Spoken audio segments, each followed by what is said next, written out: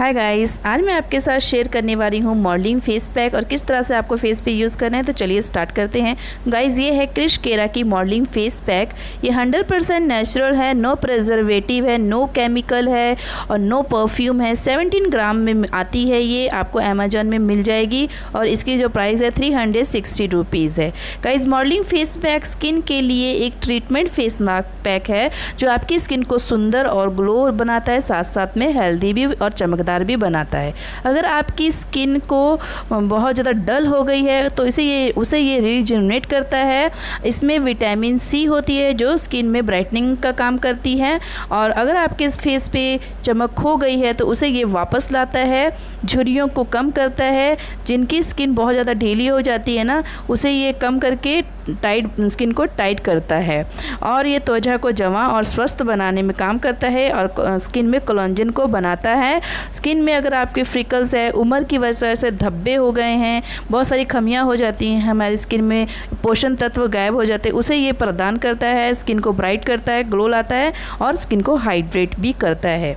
त्वचा फिर से नई लगने लगती है, पोर्स है अगर आपके फेस पे तो उसे ये मिनिमाइज़ करता है। पोल्यूशन की वजह से अगर आपके फेस पे ऑयल है डट है, उसे ये कंट्रोल करता है एंटी एजिंग से बचाता है। इसके और भी बहुत सारे फ़ायदे हैं गाइज़ आप फेस पैक तो यूज़ करते ही होगे। अगर आप उसकी जगह मॉडलिंग फेस पैक यूज़ करोगे तो आपकी स्किन में बहुत ज़्यादा आप अलग से एक फ़र्क देखोगे।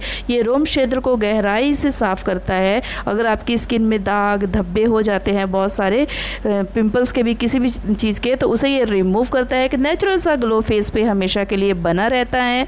स्किन में पोषण प्रदान कर देता है हेल्दी बनाता है स्किन को। तो चलिए हम स्टार्ट करते हैं इसे बनाना।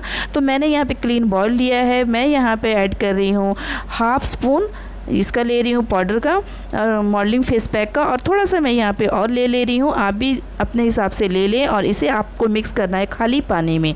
किसी भी रोज़ वाटर वगैरह में नहीं करना है। पानी भी आपको बहुत हिसाब से इसमें ऐड करना है। ज़्यादा कम नहीं होना चाहिए, नहीं तो आपका फेस पैक पतला हो जाएगा और स्किन से टपकने लगेगा और हंड्रेड रिज़ल्ट नहीं मिलेंगे। आपको इसकी एक थिक पेक्स पेस्ट बनानी है। मैं आपको बना के दिखा रही हूँ किस तरह से आपको पेस्ट बनानी है। इसकी थिक पेस्ट होनी चाहिए। ऐसी। इस तरह पेस्ट बना लें। उसके बाद सबसे पहले इसे लगाने से आपको अपना फेस पूरा क्लीन होना चाहिए। फेस वॉश करें, उसके बाद स्क्रब भी करें। स्क्रब करने से आपके पोर्स ओपन हो जाएँगे और जब आप ये फेस पैक लगाओगे तो आपको बहुत ज़्यादा अच्छा रिज़ल्ट मिलेगा। 20 मिनट्स बाद तक लगाना है और देखिए 20 मिनट्स के बाद मेरा फेस पूरे अच्छे से ड्राई सूख गया है तो मैं इसे क्लीन कर ले रही हूँ।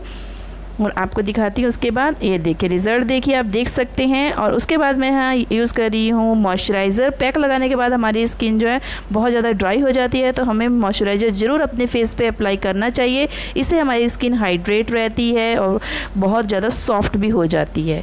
और आप देखोगे, इससे मेरे फेस पे एक नेचुरल सा ग्लो आएगा।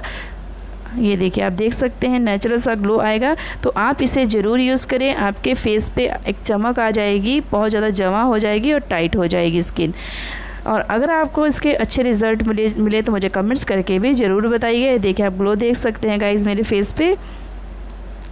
मेरे चैनल को लाइक, शेयर, सब्सक्राइब भी कर दीजिएगा। मेरा एक और चैनल है वेकअप एंड मेकअप वहाँ मैं मेकअप से रिलेटेड वीडियो डालती हूँ। उसे भी जो चेकआउट कर लीजिएगा। सो गाइज़ आज के लिए बस इतना ही। मिलते हैं नेक्स्ट वीडियो में। Bye and love you guys